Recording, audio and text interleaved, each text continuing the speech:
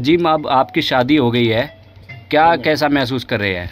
अजय बहुत जो ना अल्लाह का शुक्र मैं भी खुद हूँ और मेरे परिवार वाले मेरे माँ बाप साले खुद है के मुँह दिखाई में आपने क्या दिया है अपनी वाइफ को? अजय मैंने मैं देखूँगा नहीं आज दूँगा नहीं कल को दूँगा अभी उधार है। उनका पसंद आई आपको अपनी दुल्हनिया? अजय बहुत सारे बटन आले आपको किस किस ने अभी बधाई दी है शादी की?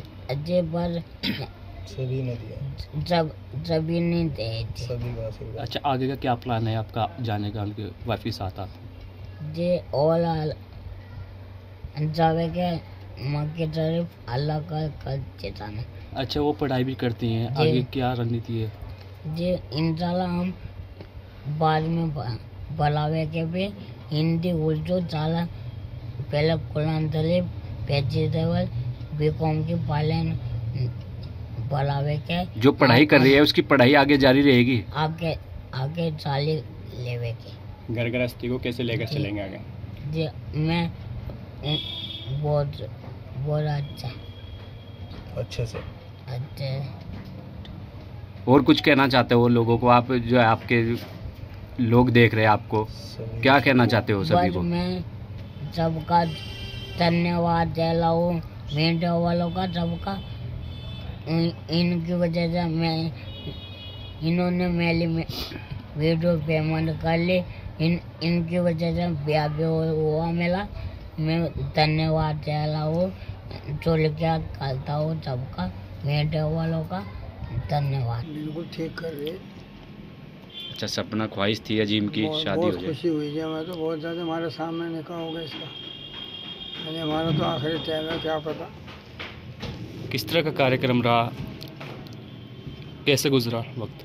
सही गुजरा जी बिल्कुल ठीक गुजरा। अच्छा आज का क्या प्रोग्राम है दावत वलीमा का? है जी वलीमा वलीमा कुछ नहीं जी बस जो मेहमान एक सादगी के साथ कर रहे हैं। हाँ सादगी। जो आगे की रणनीति यही है कि जो हमारी भाभी आई है और हम ये चाहते हैं कि उनकी बी कॉम फाइनल है।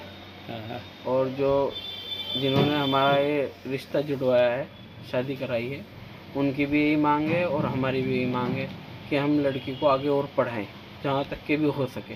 जहाँ तक कि उसका मन है लड़की का भी मन है कि मैं आगे और पढूं। वैसे तो उस, उसने टेली बेसिक वगैरह सब कर रखे कोर्स वगैरह भी लेकिन उसका मन है जहाँ तक के भी हो सकेगा हम उसे पढ़ाने की कोशिश करेंगे। भाभी से कोई बात हुई? क्या लक्ष्य है उनका? क्या बनना चाहती हैं?